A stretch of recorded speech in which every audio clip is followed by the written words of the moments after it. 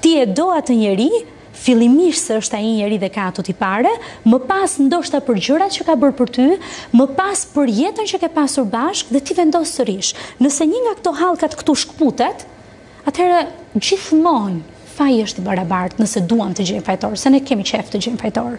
Faji është i barabartë, nuk e ka vetëm një njeri fajin kurrë.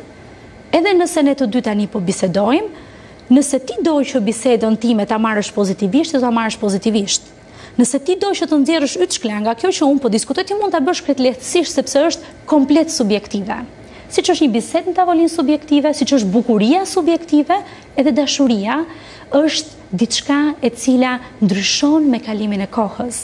Dhe nëse ti vendos t'i investohesh një dashurie, Ti investohesh sepse ti e ndjen, por jo sepse dhe personi tjetër e ka për detyrë që të ta kthejë mbrapsht dashurinë, mund të të kthejë respekt, mund të të jetë mirënjohës për atë që ti ke bërë, por nuk mund ta detyrojë veten që të të dojë më. Dhe këtu ne duhet të fillojmë të kuptojmë dhe të reflektojmë dhe të themi, po, unë kam të drejtë të dua, por edhe të tjerët kanë të drejtë të largohen nëse nuk duan të. të rrinë me ne. Ju trajtoni këto lloj, unë i quaj çrregullime psikologjike, nuk e di se si quhen në fushën profesionale, por a ka një mënyrë që mund t'ia sugjeroni duke filluar nga unë e tek gjithë të tjerët që po ju dëgjojnë, si të shpëtosh nga varësia e Pronës time, thamë në fillim, gjësë sime, gruas time, investimit tim dhe të shkojmë deri tek lëre të shkojë? Për sa i përket çrregullimeve psikologjike, që ta marr që nga e para, Ka çrregullime psikologjike të cilat janë jashtëzakonisht shumë patologjike dhe ne në psikologji rendisim në trajtat më kryesore, sepse xhelozia është një element, ëm por ajo që për ne është problematike janë përndjekjet dhe mospranimi duke përndjekur të tjerët. Kjo është maja dhe në rast se ne kemi të bëjmë me një individ i cili nga dashuria ty të përndjek dhe ty nuk të lejon në mënyrë kategorike të mos bësh asgjë, pra ty të bëhet si një hije, atëherë ti patjetër që duhet të shkosh dhe të kërkosh, të kërkosh ndihmë. Ëm um, për t'i ndihmuar individët që të pranojnë humbjen, e para gjë është um, të kuptojë dhe të thotë që unë jam gabim dhe të kuptojë dhe të thotë në situata të ndryshme më fal.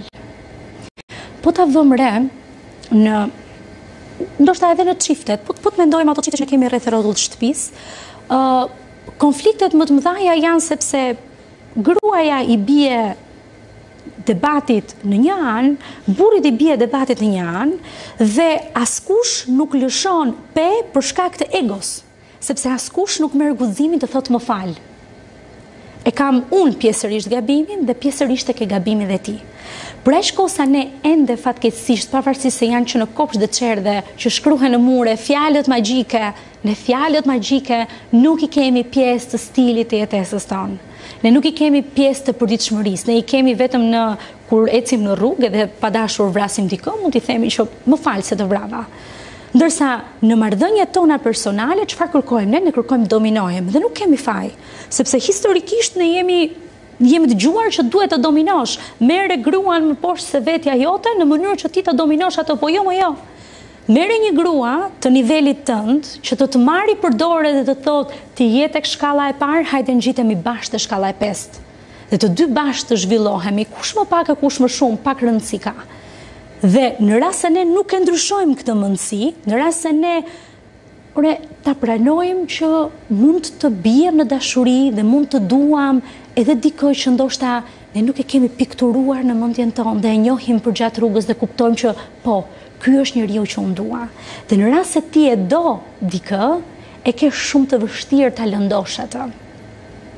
Në rast se ti e do dikë dhe në emër të dashurisë nuk bëhen vrasje. Por vrasje bëhen në emër të asaj që ne mendojmë se duam. Sepse nëse ne e duam dikë, nuk mund t'i drejtojmë as shuplakën, as t'i ngremë zërin, edhe nëse e bëjmë në një moment sapo personi tjetër ta shofim që u prek, prekesh Ulesh dhe thua, prit një sekondë, më fal se të lëndova. Por ajo çka ne bëjmë dhe kthehemi prapë tek inteligjenca emocionale është që ne nuk ne nuk e kuptojmë se çdo të thotë të duash, sepse ne nuk jemi në kontakt me emocionet tona, se po të të pyes unë tani si je, do më thuash mua jam mirë. Po mirë nuk është emocion. Sepse ashtu jemi mësuar të përgjigjemi. Po nuk është emocion.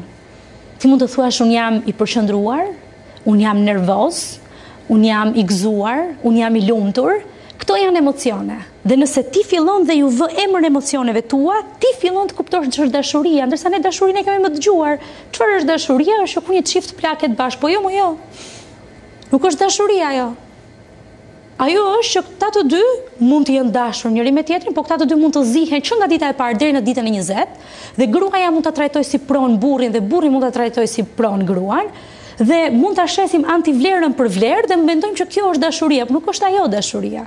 Dashuria është ta pranosh personin tjetër ashtu siç është dhe të investosh për ta rritur personin tjetër pa pritur diçka në këmbim. dhe të gëzohesh për arritjet që personi tjetër ka.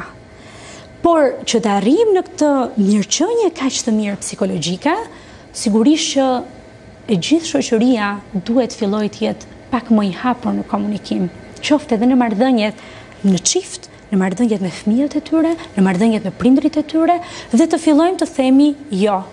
Mua nuk po më pëlqen kjo gjë.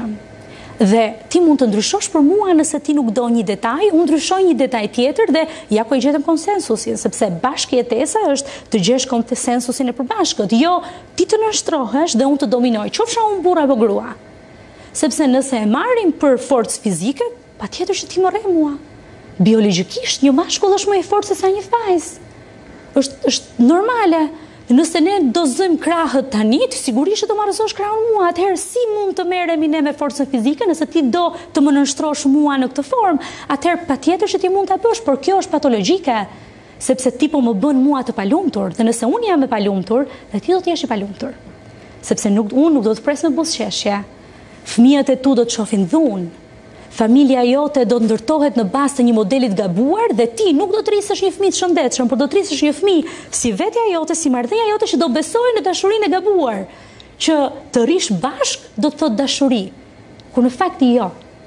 Të kesh momente të gëzuara bashkë do të thotë dashuri dhe ta respektosh personin tjetër do të thotë dashuri, sepse sa më gjatë të jetosh, aq më shumë ti kupton për njeriun tjetër, aq më shumë ti rritesh dhe kur rritesh Të ndryshon dhe perspektiva për jetën.